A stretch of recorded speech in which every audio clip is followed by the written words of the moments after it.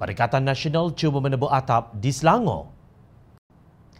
Perikatan Nasional telah berjaya menebuk atap di Johor dan Kedah selain Perak dan Melaka. Kejayaan itu membuat mereka semakin gairah untuk mengaplikasi teknik yang sama di negeri Selangor. Dilaporkan bilangan ahli Dewan Undangan Negeri Keadilan kini seramai 18 orang. Menjadi rahsia awam bahawa ramai ahli Dewan Undangan Negeri di Selangor merupakan pengikut Datuk Seri Azmin Ali. Khabar-khabar angin menyebut bahawa keluarnya Timbalan Ketua Wanita Keadilan Dr. Daruyah Alwi dari parti itu adalah sebahagian bongkah ais krisis kepimpinan di Selangor. Just justru tidak memeranjatkan jika mereka melompat keluar dari keadilan untuk menyertai Perikatan Nasional. Malah baru-baru ini tular di media sosial senarai nama yang menyatakan 32 ahli Dewan Undangan Negeri Selangor akan menyokong Perikatan Nasional untuk merampas mandat rakyat di negeri Selangor. Dalam senarai nama tersebut terdapat empat ahli Dewan Undangan Negeri daripada parti DAP.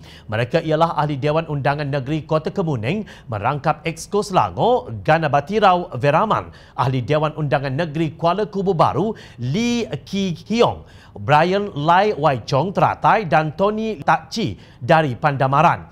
Namun keempat-empat ahli Dewan Undangan Negeri ini menafikan mereka akan melompat meninggalkan Pakatan Harapan bagi membentuk kerajaan tebu atap yang baharu di Selangor. Mereka menyatakan dengan tegas bahawa segala pengkhianatan terhadap rakyat melalui DAP dan Pakatan Harapan ditolak secara total oleh mereka dalam apa jua keadaan. Selepas pilihan raya umum ke-14, kami sentiasa menjalankan tanggungjawab dan tugas di Dewan Undangan Negeri masing-masing. Kami diberikan mandat oleh rakyat di bawah Pakatan Harapan dan kami tidak akan mengkhianati mandat rakyat. Kami berikrar untuk terus setia kepada DAP, Pakatan Harapan dan rakyat, kata mereka dalam satu kenyataan bersama. Mereka menegaskan bahawa senarai nama yang tular adalah palsu dan tidak sahih. Kami juga menyeru pihak Perikatan Nasional perlu hentikan segala perbuatan fitnah kepada kami dan cubaan merampas kuasa kerajaan negeri Selangor daripada Pakatan Harapan melalui pintu belakang, kata mereka. Sementara itu, Ketua Angkatan Muda Keadilan Selangor Muhammad Najwan Halimi menyatakan bahawa tindakan Dr. Daroyah tidak menjejaskan keadilan dan Pakatan Harapan di Selangor. Tindakan beliau meninggalkan keadilan tidak lain hanyalah percubaan kecil kelompok yang tertekan dengan kabar berita akan berlaku perubahan besar kerajaan di peringkat persekutuan. Dari sudut ini, beliau hanyalah bidak kecil dalam permainan papan catur dalam pengkhianat yang bergerak sejak langkah syaratan lagi, tegas AM ke Selangor dalam satu kenyataan.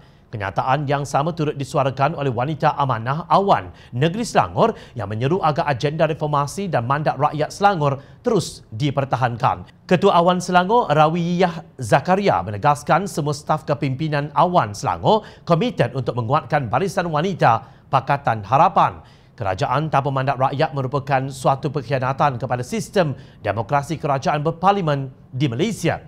Ahli Dewan Negeri yang melanggar mandat rakyat sehingga tergoyah kerajaan yang absah semasa pilihan raya adalah mereka yang tiada berprinsip dan tidak mungkin dapat memberi khidmat yang terbaik kepada pengundi mereka khususnya dan rakyat Selangor umumnya tahniah kepada pemimpin Pakatan Harapan yang terus istiqamah mempertahankan mandat rakyat di Selangor. Kita berjuang bukan hanya untuk hari ini atau esok tetapi untuk generasi akan datang. Pemimpin-pemimpin yang ikhlas susah senang dirasai bersama.